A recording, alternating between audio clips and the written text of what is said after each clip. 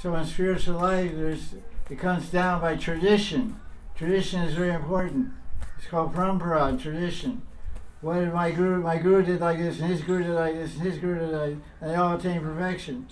So I have faith in them. I have faith in my tradition. I have faith in my line. So let me follow them.